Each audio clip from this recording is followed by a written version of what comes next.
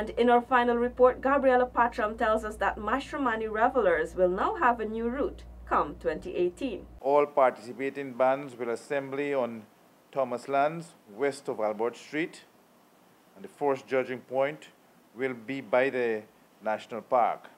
And the parade will proceed east along Thomas Lands, then south into Vlissengen Road and into Durban Park using the Vlissengen and Hatfield Streets entrance.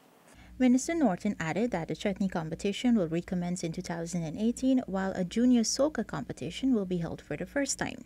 It was also disclosed that information will be available for persons interested in vending along the route of the float parade.